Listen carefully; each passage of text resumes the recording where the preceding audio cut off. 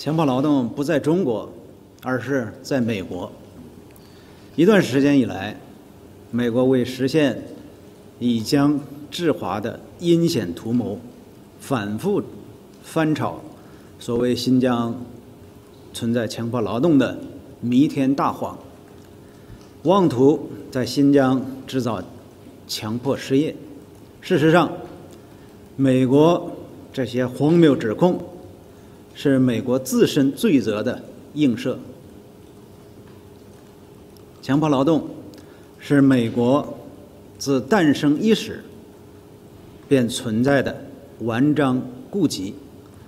漫长的蓄奴史就是美国大搞强迫劳动的铁证。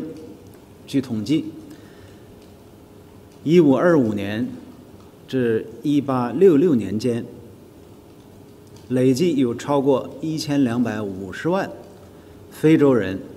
被贩运到美洲从事强迫劳动，大量黑奴被迫从事社会底层劳动，被严苛的工作条件、高强度的劳动、奴隶主的皮鞭折磨、侵害。